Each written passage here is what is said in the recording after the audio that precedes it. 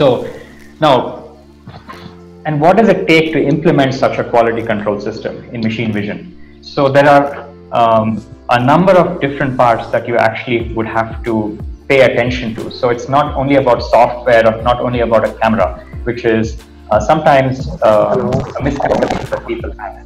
It's all about the camera, it's all about the software, which uh, it's a lot more to that. So when you when you talk about machine vision, you have something known as the pre-process automation. It's, it's what is the mechanical and camera automation that's required for actually capturing the image, right? So you need to make sure that you have image da- uh, consistent data acquisition. Uh, the next part is obviously the image acquisition itself, because without the um, let me see if I can use my pen here. Without the image acquisition, you, you don't have the data to act upon. And an image acquisition itself has a number of things camera has a number of different parameters that you need to pay attention to. But once you've acquired the image, then you process that image using some kind of a software, and that's the image processing that happens. So it's software algorithms that take a digital image and, and, and arrive at some kind of a judgment or a result that you're looking for.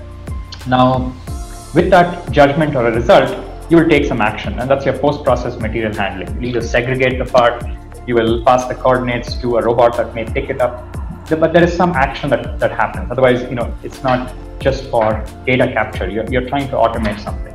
And in order to um, connect all the pieces together, you have a communication module. And that's how do all these different devices communicate because the vision system is another part to the larger intelligent factory with of importance. So all these elements go about building um, or developing a machine vision uh, system and solution.